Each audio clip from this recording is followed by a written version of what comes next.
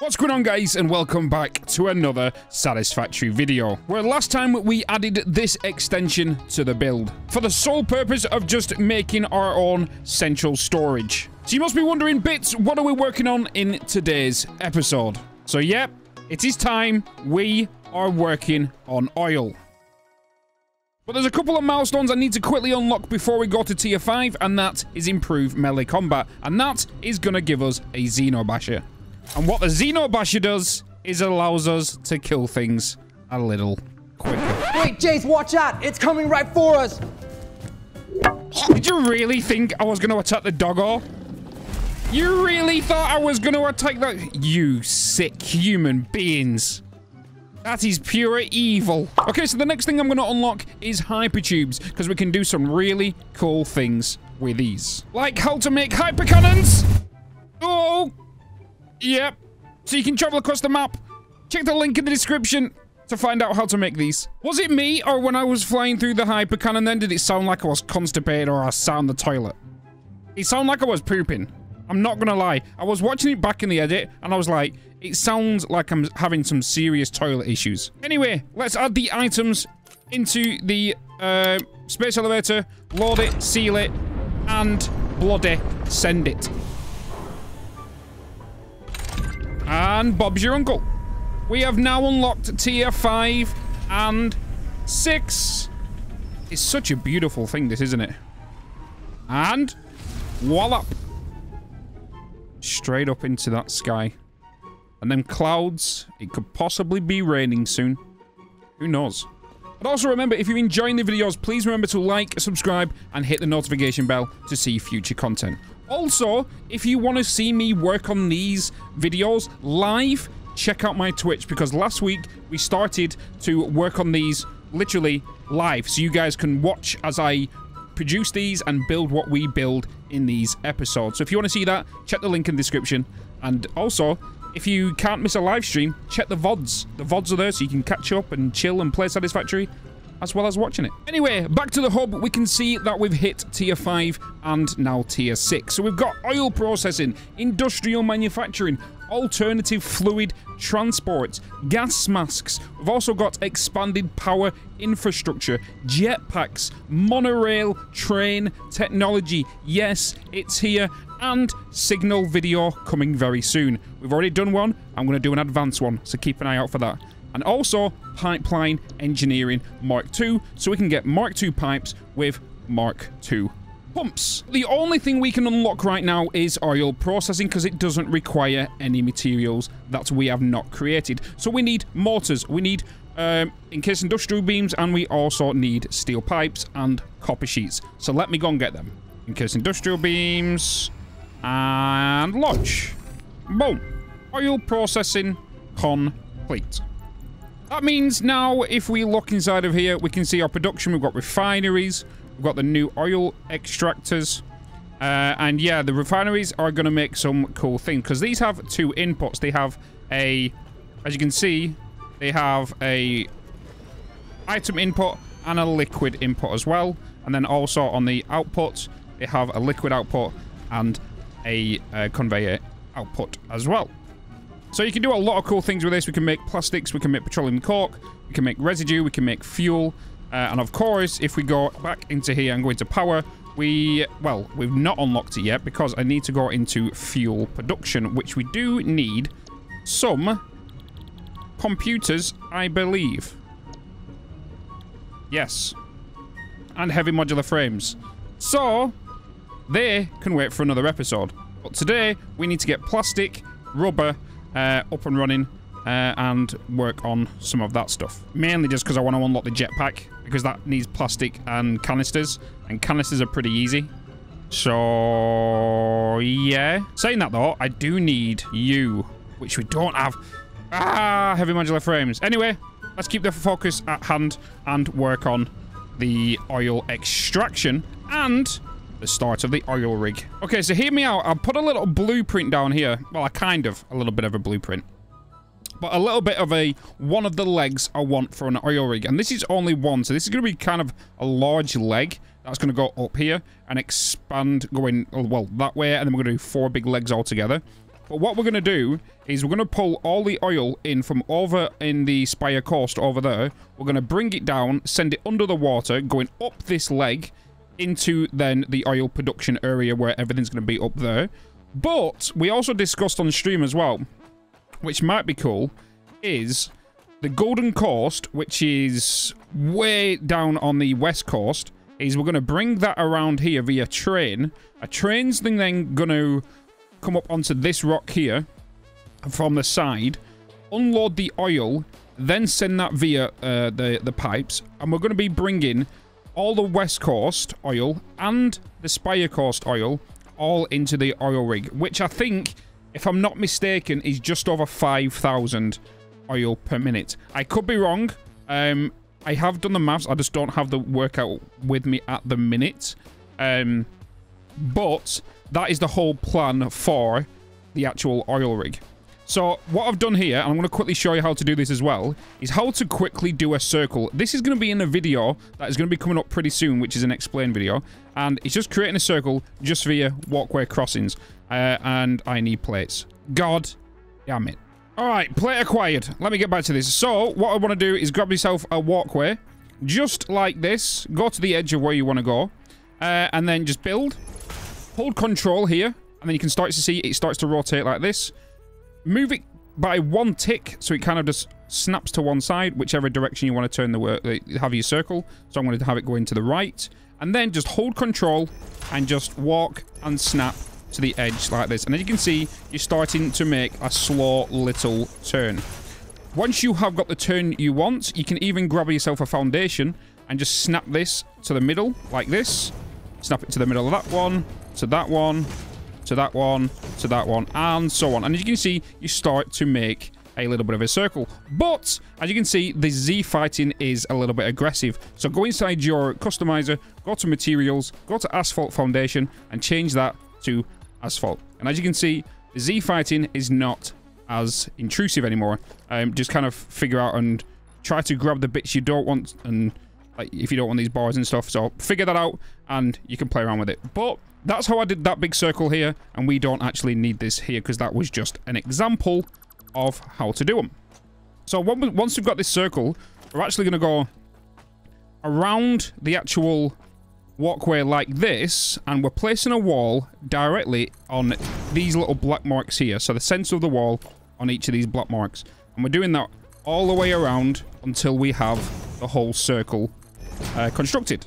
And there we go. I've now added the whole circle and it's like a big massive canister kind of thing. But I've also created the second one way over there, which is the second leg. So you can kind of see the scale of this. So you can, you can kind of see how large this is going to be. And this is only two legs. Like, I'm not going to put the other two down yet because at the minute, I don't know how far the machines are going to go back. So as you can see, I've been a little bit busy. I've added a little bit of structural design and some framework to it. So we come up with this. This is just got some beams on there. It's got pillars. It's got some signs with the emission of three to make it look like lights. Also some uh, framed foundations. And as you can see, all put together, it works kind of well. But there's one little thing about it that's kind of little voice outside of my, my back of my, my head is just going, it doesn't look right. And that is these beams right here. I don't know if I'm liking them just yet, but I'm going to leave them there just in case with any future design we kind of work towards this,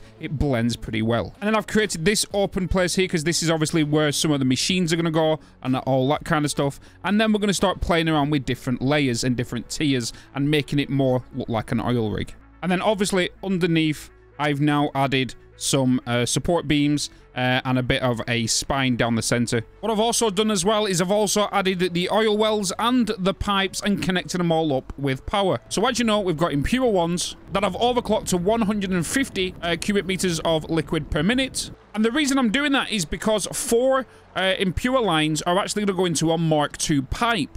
But unfortunately, we don't have Mark II pipes right now. And the reason we don't have Mark II pipes is because we've not unlocked Pipeline Engineering Mark II, which requires plastic and also heavy modular frames. And for me to make heavy modular frames, I need plastic. And for us to make plastic, we need oil. So we have to use Mark I pipes to start with to create oil, rubber, and all that kind of stuff. So as you can see, I have utilized all of the oil that is in the Spire Coast. And then between the Spire Coast and the Titan Forest, we have this oil over here as well. Yes, and as you can tell, there are some very, very smooth curves, which will come in an explain video very soon. So yeah, we're grabbing this oil from this location, and at the side of the base, we're grabbing this oil over here, meaning this one. And then everything comes along these pipes, merging together to make sure that when I upgrade these pipes, they're all going to be at Mark II uh, efficiency, which means 600 per the line. And then because we are building an oil rig, I kind of want to hide the pipes that are going towards it because you don't see that. The oil is going to be getting pumped up from underneath the rig. So what I've decided to do is take it so far and then take it under the water. And then it's kind of hiding it and it's just not making it as visible. And then as stated before, it goes up this leg of the rig. And then it's going to come to this location right here where we're going to be making residue oil with a byproduct of resin, which is then going to go into um, plastic and rubber. Uh, and then that is where is what we're aiming for, because obviously we can't do fuel or anything yet until later on. Okay, so the first thing we're going to do is we're going to look at a refinery because, yes, there are alternates out there. I know this, and we could go straight for the alternates, but I'm playing it super slow just so the people who are new to Satisfactory don't get discouraged, and because this can get a little bit crazy when it starts getting to oil, especially if you're not used to playing these sort of games. So we're going to stick with the basic recipe, and then in later episodes, we're going to upgrade to some alternates and start going on a bigger scale. So, the recipes we're going to be using is the plastic and residue and also the rubber and residue. And they are very, very different in making products, of course, but there's a slight difference in each output of this. So if we look at the plastic recipe, it takes 30 crude oil per minute. And as you know, we have 300 in our line currently until we upgrade our pipes to Mark II, where we'll then have 600. So we have 300 crude oil in our lines, which does mean we can put 10 of these machines down. Because obviously, 30 times 10 is 300. That's going to give us uh, 200 plastic on the output and also uh, 100 uh, heavy oil residue. We can't do anything with heavy oil residue right now because we can't make fuel. Well, we can make fuel. It's just that we can't do anything with it. So I think what we're going to make is we are going to send the heavy oil residue to make this. It's just that the fuel is going to get stored until we unlock in the hub um, the fuel generators and also the uh, packers so we can actually pack up this and use it for jetpack fuel. Uh, and then also we have the rubber which we're going to put down 10 of these but as you can see this is a little bit different. This sends out an extra 10 heavy oil residue per minute. So this is going to be giving us 200 uh, heavy oil residue and 20, uh, 20 uh, 200 rubber, uh, which is going to go into 10 machines as well. So in total, we do need to put 20 um, refineries down in each line. So let's first of all, let's find out where we're going to go. And I think we're just going to go um, into this location right here. Um, I think about maybe maybe, maybe, maybe we put a gap all the way along. Um, I don't actually know. I do want to kind of keep the pipes exposed as well, just so we can see that industrial kind of feel, if that makes sense, because it is going to be an oil rig at the end of the day. And although you can't really see it just yet, and especially for the new players who might not uh, understand what's going on here as well, is all this is going to get, like, extremely big later on. Uh, for those, obviously, that know about Satisfactory, it's going to get rather big. Uh, it doesn't look large at the minute, but it will do, trust me. So what we're going to do is we're going to put 10 of these in a single line. So all these along here. So one, two, three, four, five, six, seven, eight, nine, ten. And that is that done. Placed, done, and dusted. Next thing we need to do is we need to get our um, pipes down. And I highly advise, highly advise, because as of recently, I have kind of figured out what's been going on with the pipes. Uh, and that is due to these connectors right here. I have reported it to the devs, uh, and hopefully we can get a fix on it. Because what is happening is, is if we grab ourselves a pipe, like this, line that up just like we normally do, connect that up to there, and then bring that out here, and just like you normally would, is bring this out, and then attach your junction to said, well, there where it needs to go. Look what happens now. So as you can see, the pipe goes in and look at the orange line. The orange line is going halfway through the connector. Same with this side. And it's causing a bit of an issue. I don't know where it is, but that is actually a bug, which hopefully gets fixed in, in down the line. But this kind of thing here is actually affecting the flow rate of your pipes. And if you ever find out any issues, this is more likely why it is. But if you look at this one, because we placed this first, instead of placing this on top of the pipe, look at the, look at where it's connected this time. You see where it's connected?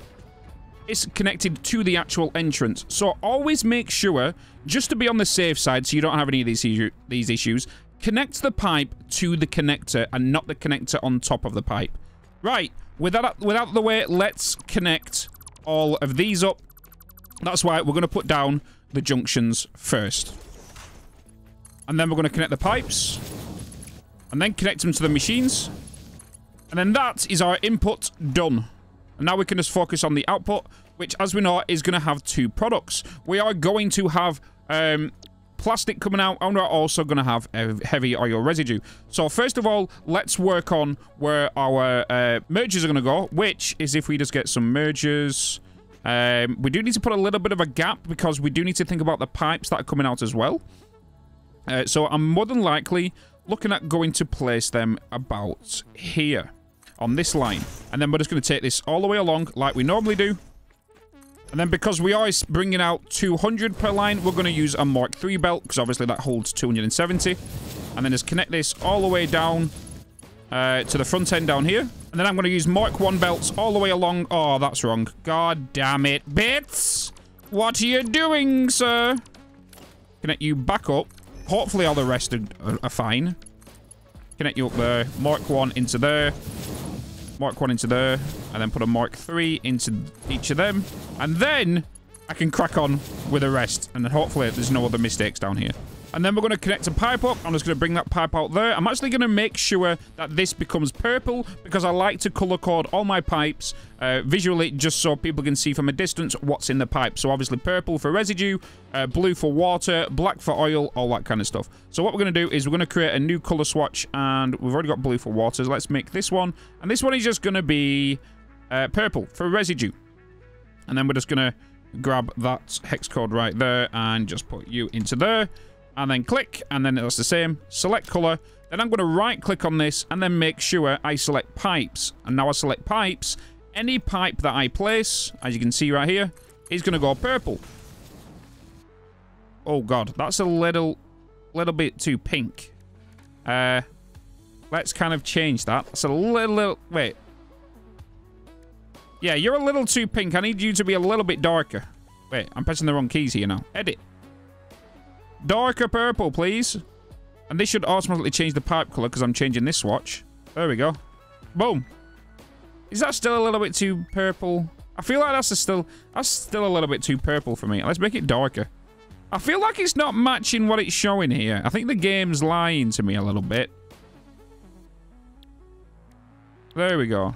That just that's a little bit better. That's a bit better. So yeah, let's remove that because that clipping is kind of doing my head in. I do need to paint this first one though, and that one. And then let's take this all the way down here. But what I'm going to do, it's going to be a bit of a pain. Um, so I'm going to show you how I'm going to do this because like I just stated a minute ago with the, the pipe connectors, uh, there is a bit of an issue. So I've got to kind of do it the way, this way, and then kind of repeat and delete some stuff. So I'm going to show you what I'm going to do here. So I'm going to take this all the way along. Like this. Like so. And then I'm going to put the connectors down. Make sure they're lined up. Hold control and make sure they're snapping. And then once you've done that, is it sounds annoying, I know, but then delete the pipes uh, again. So then we just have some floating connectors. And then all we need to do is just connect these back up. Like this. So then as we can see, we're not going to have any of the pipes actually going through the connector itself. It's connected up to where it needs to be connected. I know, I know it's a bit of a pain, uh, but trust me, just please do this if you uh, if you don't want any, any hassles with your pipes. Um, there will be obviously some people who don't believe this is real, but we have had confirmation. So please uh, make sure that uh, you do this. uh, it will uh, it will help a lot. Trust me. And then just connect the pipes to these entrances for the outputs. Oh, that went a bit wonky. Then the next thing you need to do is just connect it all up with power, set up the recipes, and make sure you select the plastic and heavy oil recipe. And as you can see, we already have plastic sitting on the line waiting to go to its destination, and the pipes are full with residue oil. But there is something you need to know, and make sure you make a note of this, because if you have one thing not working, the other thing will not work as well. So inside your production or inside your refinery, you're going to see your plastic and heavy oil residue. Once this plastic fills up, it will stop producing heavy oil residue and it works in roundabouts. It will work if the heavy oil residue is not being sent to a destination and just sitting in the lines, it will stop making plastic. So make sure you take note of that. So what we need to do now is we're just going to set up the plastic to be stored and we're going to send the residue oil into some more refineries to make fuel. Right, so then what we're going to do is we need to put down our, well, refinery in a, say, around there. Is that too close? I don't think it is connect you up to that. And then this is sending 100 residue oil. So we need to make this to be overclocked to 100. It's currently taking 60.